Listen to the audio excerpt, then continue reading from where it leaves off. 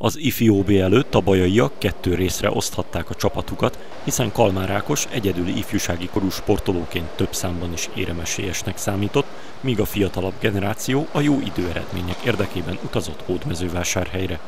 Ákos hozta is az elvárásokat, hiszen kettő aranyérmet, egy ezüstöt és egy bronzot nyert a sereg szemlén. Számára tényleg az volt a feladat, hogy, hogy úszon jó időket, nyerje meg, amit megtud, illetve nyerjen érmeket, és hát hogy a pontversenyben minél jobban szerepeljünk. Igazából ezért indult olyan számokba is, mint 400 vegyes, ahol hatodik lett, tehát ott is pontot szerzett, illetve a 200 gyors, ugye ez már neki viszonylag rövid táv, itt 6, 6 századdal maradt le a dobogóról, tehát itt negyedik lett, hát a kötelező számokba hozta az érmeket. A fiatalabbak közül Svóp Fanni, Réfi András és Kovács Botont több számban is új egyéni csúcsot úszott, ami a korosztályos országos bajnokságon jelenthet majd nekik kisebb előnyt.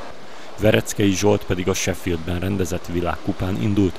Háromszoros paralimpiai bajnokunk remek időeredménnyel a harmadik helyen ért célba az 50 hát döntőjében. A versenye gyakorlatilag a utolsó nap utolsó száma volt az 50 hát, egy, addig, addig edzettek, készültek, és valóban sikerült egy 41 másodperces időt úsznia, úgyhogy biztató az Európa bajnokságra nézve, remélhetőleg ugye neki is ott a, a, a cél az élemszerzés. Zsolti és Ákos számára egyaránt fontos a mostani jó teljesítmény, hiszen mindketten Európa bajnokságra készülnek. Bízzunk benne, hogy sikerül átmenteniük a mostani jó formájukat a kontinens viadalra is.